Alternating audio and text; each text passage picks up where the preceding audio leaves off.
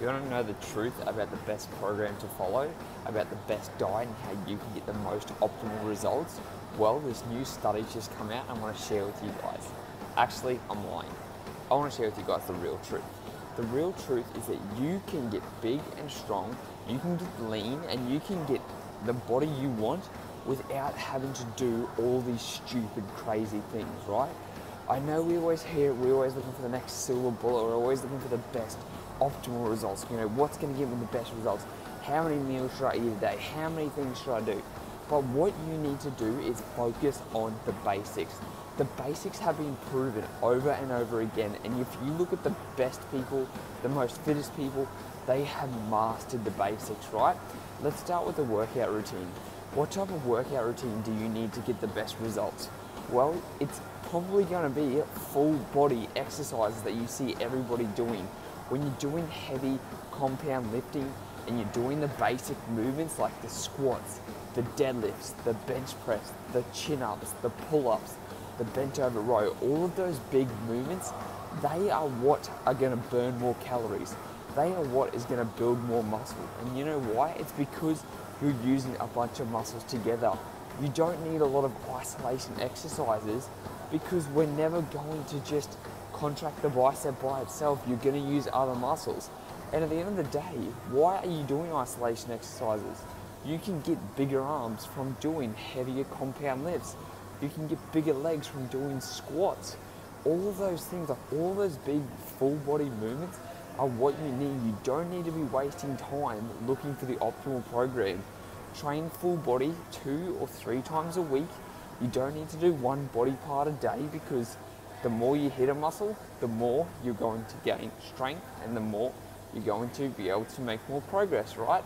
So let's say if you can only do the bench press once a week or you could do it two or three times a week, you're going to make so much more progress with your chest and your arms and your shoulders. So the first thing you want to focus on is don't get lost up in all these routines. You don't actually have to go and buy a workout routine from someone it's good to learn the basics, to understand how to do them, get a trainer to teach you, or look it up and do the research yourself, right?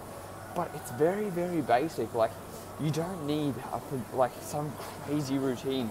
It's going to tell you to do 100 jump squats and then barbell back squat, and then next time you're going to learn, like literally, learn how to do the squat, then learn how to do the front squat, learn how to do a goblet squat, learn all the different versions, but they don't have to be some crazy different exercise. And then what you want to do when you know those exercises, all you want to do is progress on them every single week if you can. Increase the amount of repetitions or increase the amount of weight. You don't need some crazy like scheme of like um, like drop sets and super super sets are good, but like drop sets and giant sets and all those things, like you really don't need it for your goals. You can get the best results possible just going, okay, this week I did six reps, next week I'm gonna do seven reps. This week I did 60 kilos, next week I'm going to do 62 kilos. Just always try and add progressive overload to your exercises. Now that's the exercise component. Let's talk about diet. What's the best diet you should follow to be able to lose weight? Well, I'll tell you what, whether you want to lose weight, whether you want to gain muscle, it doesn't matter what it is. If you look at all the diets, what do they advocate? Fruits and vegetables, but it's vegetables, it's lean sources of meat and protein if you're to have it, keep your saturated fat low. You don't want a lot of saturated fat. See healthy oils, healthy uh, fats like nuts and avocado, and then don't eat a lot of carbohydrates and refined sugar. Like honestly, what else do you need to know? We all know, right? We literally all know what we need to do.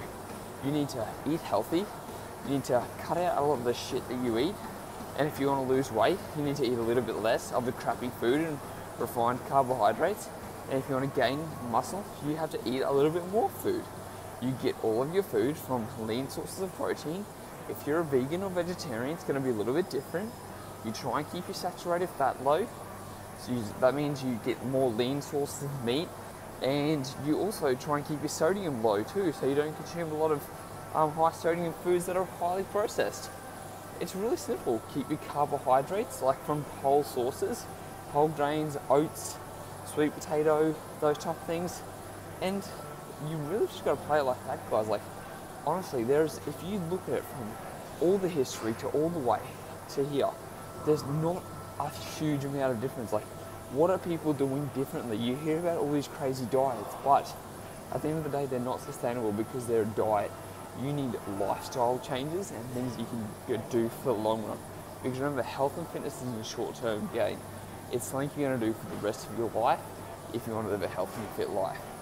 So, live with basic compound exercises, eat a healthy diet, and don't waste your money on crappy things like supplements, crappy things like crazy workout programs. Follow the basics, and I promise you, you'll get the results you want. That's the video, guys. I hope it's informative. If you've got any other questions, comment down below. I'll speak to you next time.